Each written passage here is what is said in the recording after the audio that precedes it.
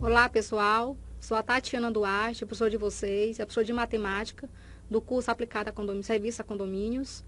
Sou de Picos. Desejo que vocês tenham um bom aproveitamento do curso. Iniciaremos nosso curso de hoje com os números reais. Estarei com vocês à distância, mas estarei sempre com vocês na plataforma. Qualquer dúvida, eu vou deixar meus, meus contatos, tudo. Podem entrar em contato comigo através do tutor, ok? Então, vamos iniciar nosso curso de, de hoje. Números reais. O que seriam números reais? São números que podem ser escritos na forma decimal, com infinitas casas decimais e não periódicos. Temos aqui os exemplos. Que são números racionais?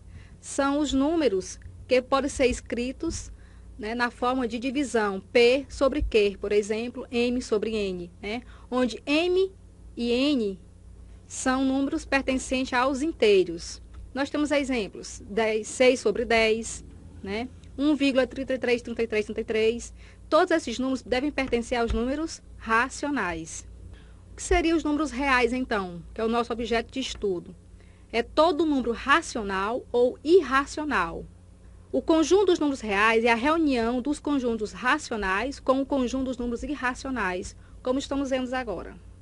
Nós temos dentro dele quem? Os naturais, temos os inteiros, e os racionais e irracionais.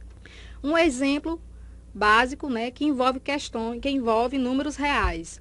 O valor de x, que é solução nos números reais da, da equação 1 sobre 2 mais 1 sobre 3 mais 1 sobre 4, que é igual a x sobre 48. Nós vamos tirar, fazer aqui o que agora?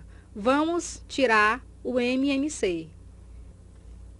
Observamos, nós temos o quê? 13, né? A gente vai fazer aqui, aqui, cruz credo. Multiplicamos 12 vezes x, dá 12x. 13 vezes 48. Dividindo, nós vamos encontrar como solução x é igual a 52. Um segundo exemplo que envolve números reais.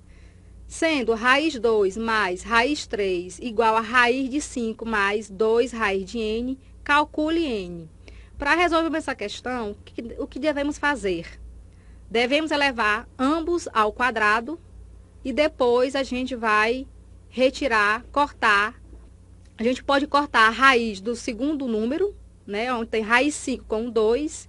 E no primeiro membro a gente vai fazer o produto notáveis, né? Raiz de 2 ao quadrado vai dar 2.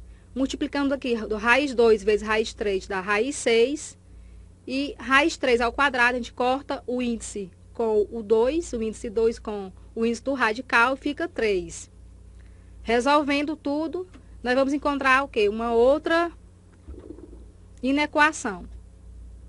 Então, a gente resolve novamente, cortando o raiz 6 com o índice 2, fica 4 vezes 6, dá, 20, dá 24. E raiz n com o índice 2, a gente corta também com o índice do radical, fica 4, 2, 2 ao quadrado dá 4 vezes n, 4n. 4n é igual a 24. n é igual a 24 dividido por 4, que vai dar 6. Um outro exemplo, agora nós vamos racionalizar o denominador. O que seria racionalizar? A gente pega o denominador, o que tinha, o que tem um sinal de menos, a gente coloca mais no numerador e repete ele no denominador. Multiplicando, a gente vai encontrar menos 3, raiz quinta mais 3 sobre 11. Enfim, pessoal, encerramos nossa primeira videoaula de números reais e funções e gráficos. Daremos nossa continuidade ah, na próxima aula com juros simples e juros compostos.